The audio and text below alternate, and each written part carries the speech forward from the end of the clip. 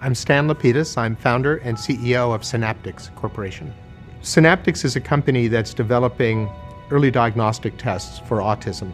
Our goal is to collapse the time from suspicion to diagnosis.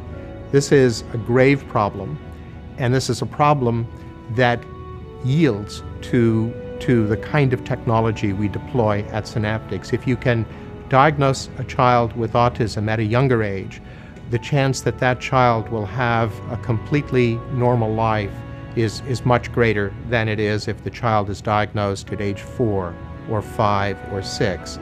In the US today, the average age of diagnosis for autism is four and a half, and there's really no reason for that. Um, we think with a technology like ours, we can collapse that age to somewhere between two and three. We're using Illumina next-gen sequencing for RNA sequencing. Autism is a complicated disorder. Its molecular basis at this point remains elusive, but there's clear evidence, evidence in our hands and evidence in the hands of other investigators, that an RNA expression, expression signature derived from white cells in blood can help identify those children who are at elevated risk for autism. A few weeks ago, SynapDx launched the clinical trial we call STORY, S-T-O-R-Y. It's a 600 patient, 20 site study that's taking place in top autism and developmental medicine centers throughout the country.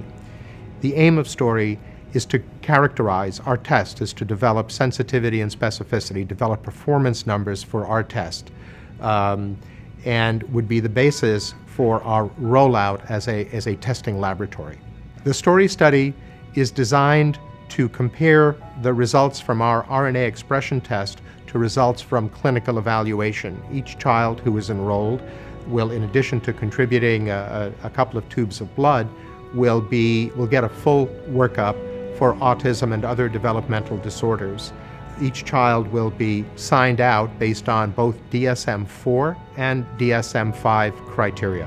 Uh, we think the impact of this study will be that of a pivotal trial and be the first clear evidence in a multi-site prospective setting that blood testing can help physicians diagnose autism early. The most important feature in, in, in selecting a vendor for next generation sequencing is the trajectory that that vendor has. Uh, this, is a, this is a trial that we're doing now. This is a test that will be around for years. We'll be improving upon this test uh, we need to be sure that we're working with a company which is committed to supporting clinical laboratories like ours and has the operational sophistication to meet our timeframes and our quality requirements.